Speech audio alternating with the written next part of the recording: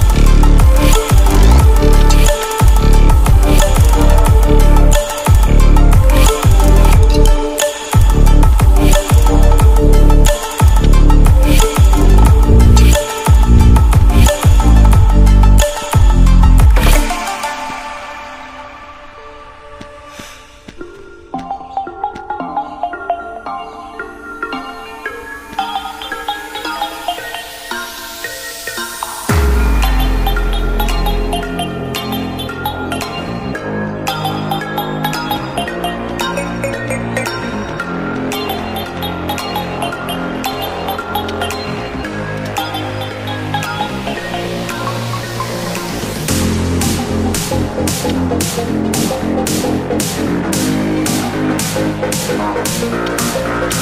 you.